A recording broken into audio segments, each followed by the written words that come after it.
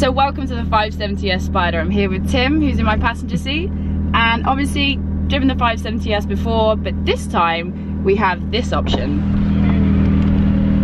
All 15 seconds it takes to put the hood back down, And you can do it while you're driving. and we can do it whilst we're driving. 15 seconds Wait for actually the a long time. Ready? There we go. Got it. Let's go. meaning for me. So you know, every word has its little letter, big letter, like the word no. Like you gotta know yourself. Okay, and LW. Okay, if you know the word no, W got capital K and OW. Each of us really knows. This week we've got a brand new 570S Spider. We're driving through Barcelona and I'm joined by Mr. Supercar himself, Tim Burton. Hello, how you doing? So, Tim, obviously you've owned how many McLarens now? One, two, three, Four now. four. Four, yeah. 675 LT, 12C, 5. 12C, 650S, then the 675 LT Coupe, and now the 675 LT Spider. So it's quite interesting driving this one, the Spider as well. So the Sports Series, which is obviously what this is a part of, is kind of their introductory supercar range, would you say that? It's pitched as that, but you know already from driving it, it's still a proper supercar, right? It's 100%. not. And, and then it sits underneath the Super Series, which is the 720S. So it's the latest in the lineup in the Sport Series. I mean, looking, comparing this to the car that I had last week, the car that I had last week, 503 horsepower, this is 562. It's not that much of a difference, but believe me, the, the entire feel of the drive, the car itself, it's an entirely different experience when driving. It is a true supercar. And I think with the power, you don't, I don't know if you need that much just to enjoy it. What do you think? It's not always about what you need, is it? It's a very different car from what you drove last week. The engine's moved from front entirely to back. different. There Yeah. are no back seats. It's a lot lighter. So even though it's a bit more powerful, it's obviously stripped out a couple of hundred kilos. Carbon tub, mm-hmm. all this sort of technology, Formula One technology, and different things in the car. But what I was sort of saying is, compared to you know driving the really really fast cars, this has 99% of everything in the one car at a much more sort of attainable price point as well. I mean, these start at 149,000 from memory. Um, it's it's your entry entry level supercar, if you will. Your entry level, everyday usable supercar. Yeah. I mean, it is enti- it is completely usable. I mean, for me, like supercars is not something that I get to drive that often. Let's be real about it. But jumping in this, you feel like I mean, I feel like a superstar. We have the Sicilian yellow uh, 570S Spider here, and the colour is just amazing. I drove the Mantis green one before. We were talking earlier and just saying that if you're going to have a car like this, it has to be in a Larry colour. I just feel like if you're if you're going to be that flamboyant, then you need to have that colour to back it up. And this just looks like a little skittle rolling down the road. It looks amazing. So having driven the 570S before, this is basically the same thing. It is the same twin turbo V8, 3.8 litre engine. Um, the implications of making it into the convertible are negligible, really. Is it 48 kilos heavier? 46 kilos 46 heavier, kilos but it's still really light. But It's, it's- 1,359 kilos, big daddy. That's really light. Yeah, I mean, it's a carbon tub car, it's super light. It's exactly the same car, essentially. It's just this time you have the option of taking the roof off. which we don't have that right now. But if you slow down, you can do it at 40 kilometers an hour. Yeah, so if we just go down, that's what I mean with these things. If you can't just do 100 and take the roof off, otherwise you're going to say bye to it. And now, cruise along in the 30s. cruise along. 15 seconds. You can actually put down just the rear window. So if you were driving in England and it was raining, and you still want more engine noise, and then you can suddenly you can rockstar it.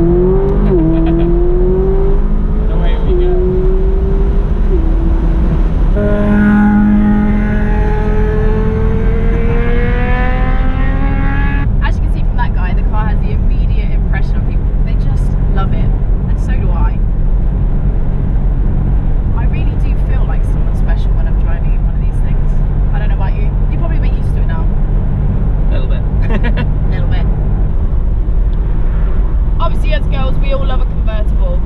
It's got a little bit of wind buffeting in here but it's not that bad and you can really feel like a superstar with that wind rushing through your hair. It's nice isn't it? It's everybody. yeah my hair's blowing everywhere. It's lovely. Your, your long locks are blowing in the wind Tim. You've never looked so pretty. but it's nice in here. You've got a bit of engine sound. You've got that open air feeling and we're sat in the optional sports buckets. So I would definitely bit, go for these. We're a bit lower in the car as well, a bit more sort of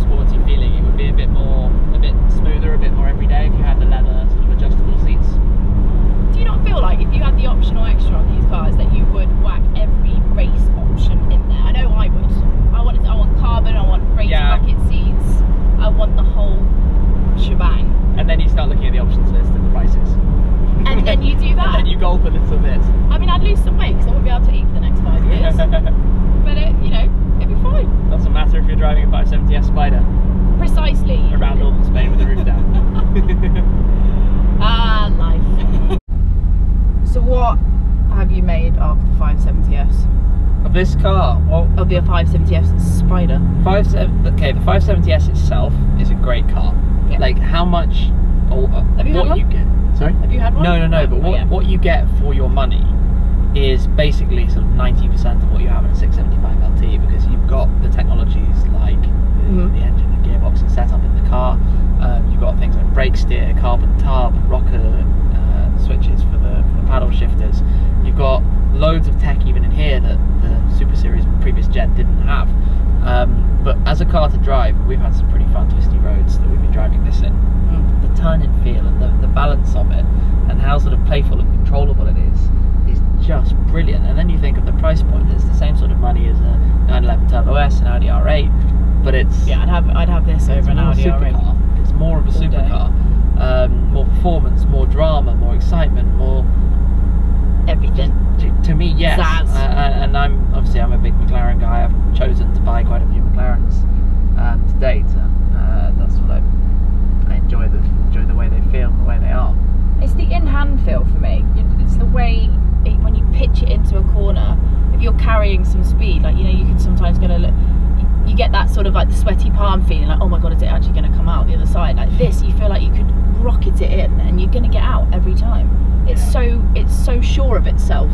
Yeah, it just pulls in, goes around, um, and then you put your foot down and away you go. Coupes or convertibles?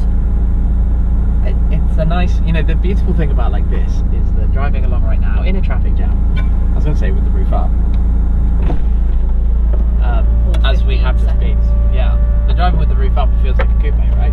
Oh, absolutely. Yeah, looks, no the looks are clean. It's not sort of like awkwardly proportioned. Um, so in a car like this, it has to be Spider. I mean, I have the 675 LT Spider for that. You don't lose anything. But then, you know, not always Spiders. My uh, Vanquish is the Vanquish Volante, which is the convertible, Yeah. the big cabriolet. Oh, that's the one that I drove in, wasn't it? Yes, and um, that's a little bit different because when a car is bigger like that, without the carbon tub, it has a little bit more sort of flex to it than Mhm. the coupe does, for example. Um, but in that instance, I particularly wanted the Grand Touring convertible because I think that's just cool. Um, so it depends on the car. In this, it has to be a Spider. I feel like an everyday supercar, this thing is like sort of top hitting all the, ticking all the lists, Yeah, isn't for it? sure. Absolutely, for sure. Um, there's enough space in the front. We've got luggage in the front. Um, you can use the roof. If Yeah. the roof is up, you can put more storage back there. You can put some jackets and things in there. Um, it's comfortable. Even with the sports bucket seats, they're pretty comfortable. Basically, Um, it's. I I mean, for me, this is like a, it is. It's a posing car. Like you've got all the tech, you've got all the speed, you've got everything. But bottom line, this thing is. It just makes you look cool. mhm. Is that how you feel? I yeah, think you- so. I just think a so. In the massive yellow, poser, for really, sure. aren't you? Um, sorry. Just a massive poser, really, aren't you? Six, seven, I five, like I like going out yeah. driving, taking the cars, pushing them hard, using them how they're kind of built to be driven.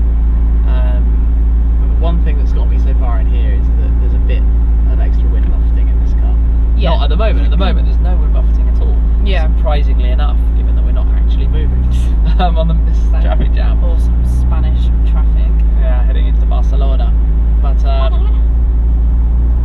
at speed, there's quite a bit. Um, but yeah, I think it's I think it's cool. I think it's a great like if you want one car or one exciting car.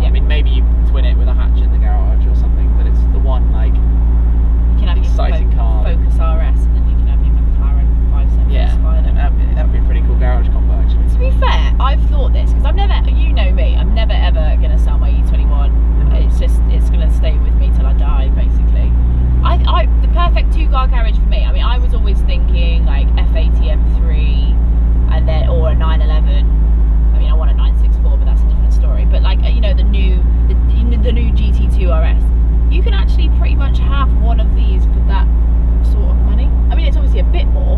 But one of these versus GT2 RS. Yeah. This is cheaper than GT2 RS. Well, there you go. but it's also less powerful. That thing has 700 horsepower. It's pretty mental, isn't it? Yeah. I mean, but the, but the perfect two-car garage for me would be my Beamer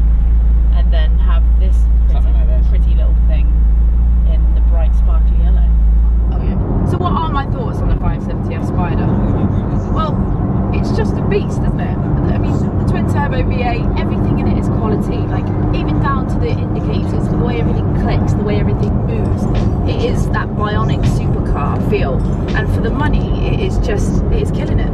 I can't explain to you how excited this car gets me. Like I, I really, really enjoy driving it. Of all the cars that I have driven, this is definitely one that really sticks with me.